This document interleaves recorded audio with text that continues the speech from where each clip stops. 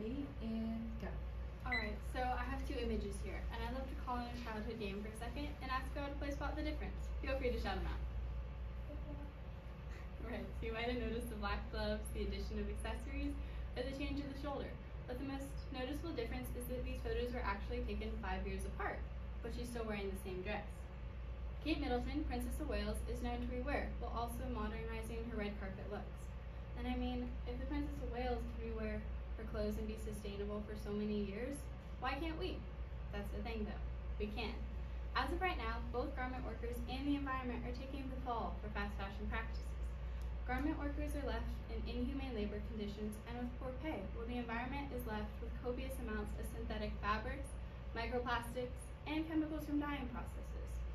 While fast fashion is a necessity for low-income families as a way to minimize the clothing gap, for those who can afford to be more mindful must, as the current scale of fast fashion is huge, with $99 billion annually increasing at around 9%.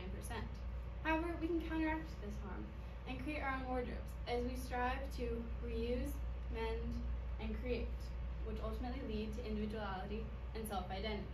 Through simple applica applications of sustainability, such as reusing, altering, and creating our own clothes. 85% of all garments end up in landfills, which roughly translates to 11.3 million tons of waste, which would be depressing knowledge, and don't get me wrong, it is. But I remain hopeful as so much of it isn't actually trash we can learn what to do with it. Projects revolutionizing waste aren't new, but mainstreaming a mindset of reusing and, and valuing what already exists is vital. The easiest and most straightforward way to do this is through thrifting, which also keeps clothing out of landfills. It is important to note that this still isn't sustainable without intent, as overconsumption of any single thing is disastrous, even if it is overconsumption the most sustainable option. From here, perhaps you have well-made clothes that are perfect to alter and mend. Another great way to keep them in circulation. This can look like shortening thrifted pants, making a dress more fitted, or fixing a seam, which for me always seems to pop up in my cathedral hoodies. But the good news is, is it's really easy to fix. As with just a single needle and spool of thread, costing under $5, you can save $45 on a new hoodie and make yourself that much more sustainable. It really is easy as that. From here, you can expand into fully reinventing garments, such as with denim, as the denim as the process is insanely water intensive, but creates a durable material that's perfect to alter and keep in use, offsetting the environmental impacts of its creation.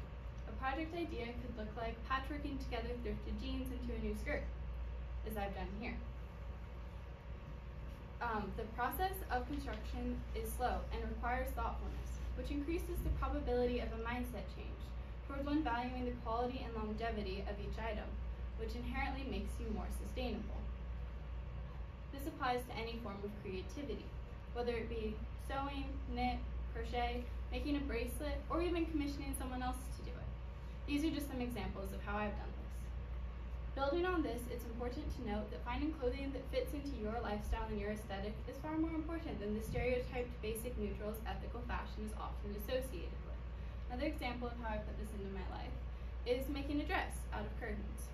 From here, as we begin to see and understand the people behind what we wear, we begin to understand the brands in which we support, and we can lower the disastrous consumption rates as we work to create a more sustainable lifestyle at both the individual level and the environmental level through reusing, re repurposing, and reducing our and through reusing, repurposing, and rekindling our natural creativity, we can all strive to find a lifestyle that works for that best works for us all and emphasizes mindful consumption and practical applications of sustainability in order to create better garments today, for tomorrow, and long after that.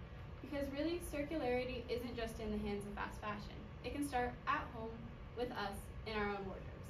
Thank you for listening.